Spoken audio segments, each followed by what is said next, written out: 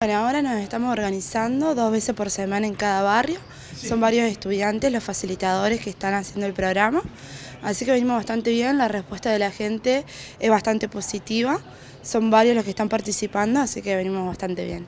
¿En qué barrios están trabajando? Ahora estamos trabajando en el Comedor Ilusiones, en el barrio, en la localidad de Las Higueras y en el barrio Alverde. Ya hace más de ocho años que venimos trabajando con alfabetización de adultos, así que venimos bastante bien. ¿Y cuál es la modalidad que realizan? ¿Cuáles son algunas de las actividades? ¿Cómo se organizan? Nosotros eh, trabajamos alfabetización bajo el programa Yo Sí Puedo, que es un método cubano, que es eh, a través de videoclases, pero siempre lo vamos acomodando según eh, el participante.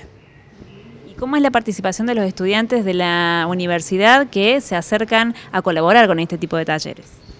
Es bastante positiva, este año aún más que años anteriores. Actualmente hay entre 20 estudiantes, estudiantes y graduados que están participando del programa. ¿Y la participación de la gente en los barrios? Viene bastante bien, generalmente nos cuesta un poquito por ahí al principio, pero una vez que se engancha y empiezan las primeras clases, ya todos siguen y lo terminan.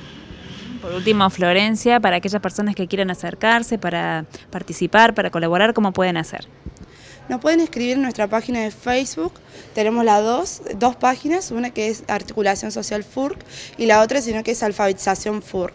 Nos dejan un mensaje ahí, nosotros seguramente se lo contestamos y coordinamos un día para juntarnos.